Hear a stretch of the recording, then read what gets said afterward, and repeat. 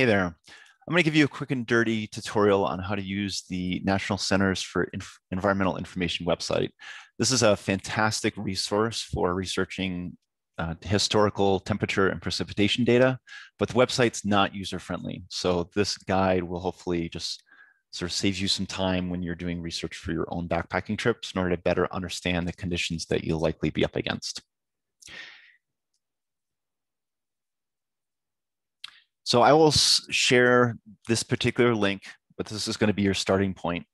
And you are most interested in the normals, these climate normals from 1981 to 2010. Uh, these are updated every 10 years. And uh, in theory, in the next year or two, we should have a new set of normals from 1991 to 2010. And since the climate is changing, has been changing, the more recent normals uh, or, a, or a more updated set of normals would be would give you better information.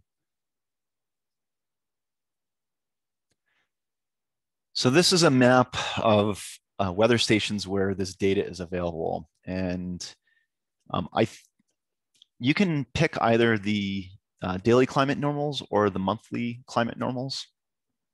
Um, I think that the the daily is probably a little overkill. Um, the monthly is is probably just fine. So go ahead and zoom in on your route. And suppose that I was planning a route in the front range of Colorado. And this is uh, just to orient you. Here's Rocky Mountain National Park. This is Trail Ridge Road. Uh, this is the Indian Peaks Wilderness here. And then this is the James Peak Wilderness. And the Continental Divide is this ridge line that you can see right here. And if I was planning a, a route um, along the Continental Divide, you'll notice that there are actually there are no weather stations along the divide itself. So there's a weather station in Estes Park, there's a weather station in Grand Lake. Uh, this is along the peak to peak outside of Ward. There's one close to Berthoud, uh, to the summit of Berthoud Pass, but this is actually closer to Winter Park. And the issue with picking a weather station that's not on the route is that you're just not going to get, the data won't be as relevant. Um, especially in the west, the temperatures and the precipitation is greatly influenced by the elevation and also the geographic positioning. Uh, so, um, so you want to uh, you want data that's specific to your route as you can get. Um, here in the state of Colorado, when I'm planning a, a trip on the Front Range, um, I actually usually look at a weather station that's um, on Fremont Pass, which is just outside of Leadville, because it's at 11,000 feet and it's on top of a high ridge. So that data I feel like is a little bit more relevant to what we experience on the front range uh, versus say pulling data out of like Grand Lake at 9,000 feet when I'm gonna be at 13. So in order to get into the data, you go ahead and hit this uh, wrench icon, which will bring up some map tools. Go ahead and click on the identify button and you can go ahead and then click on a weather station. Um, not all weather stations are going to have um, like the data that you want, so you might need to poke around a little bit. I go ahead and click on the station details, and that brings me up with a new page. There are two ways to get at the data from here. One option is if, if this is the only data that, data that I want, you just go ahead and come, come over here and select 2010. This data is not exclusive to 2010. It's really the climate normal data set that's ending in 2010. And then I view the data and it will bring up a separate PDF. And on the first page here, I have my temperature data. So for example, um, during the month of June, the high, high average temperature at this particular location is 58 degrees and the average low temperature is 33 degrees. Uh, there is also some important um, information about the, about the weather station. So it's at 11,000 feet, gives you the lat long um, and you can go ahead and use that information to speculate about the actual weather or climate along your route. So for example, if I was planning a route at 13,000 feet, which is almost 2,000 feet higher than this ridge, I would assume that it would be uh, roughly about eight degrees colder um, at 13,000 feet than indicated here. General rule of thumb is um, th three to five degrees per 1,000 vertical feet of elevation change. Use that three degree number when you're in a, a lower elevations and more humid climates. Use that five degree number when you are at higher elevations and uh, in more arid climates. So here you have the temperature data. And then your precipitation data is on the next page. And you'll, you can see, so for, say for uh, the month of July, there's an average of 2.42 inches of rain uh, per month or for the entire month. Um, that's not a whole lot of moisture.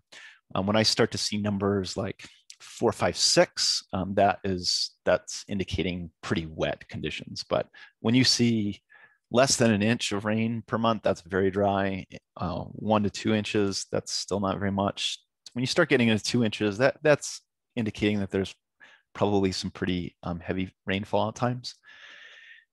Um, so those are your temperature and precipitation data. If you if you understand statistics, you can look over um, in some of these other columns to understand uh, the variation month to month, or like the variation of what you actually might encounter relative to what the normal is.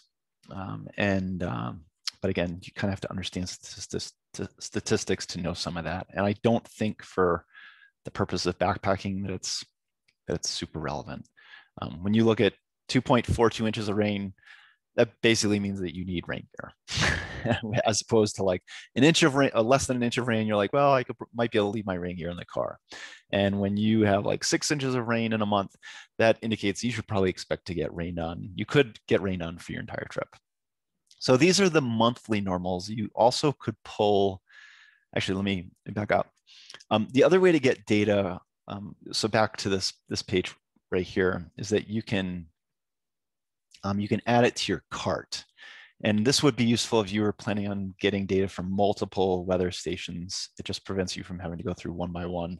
So you go ahead and add it to your cart, then you go to your cart and, and this is a free service. So even though they're using a cart feature, um, it's still gonna be free. So click 2010, I um, add my email and they'll send me an email when my order is ready. So those are the, this is, I just did the monthly if you're interested in knowing what the daily is like, it's just, it just, the, the data is just more granular. So I go ahead and click on the Climax Mine again. And I open this up, the 2000s, the 1981 to 2010 uh, climate normal. Suppose I'm gonna do this trip in July. This will bring up a PDF for me. And then now this is a daily high and low, average high and low for this particular location. Um, it can't give you a can't give you a a um, a daily precip number, so it just gives it to you for the entire month. But you'll notice there is like a chance of precipitation, which which is useful, and you'll notice that the chance of precipitation increases through the month of June, increases all the way through uh, July, and it looks like it tops out at the beginning of August, which coincides with our most active monsoon pattern. So basically like on average, around August 10th, you have 50% chance of precip. So this is a useful number to be looking at.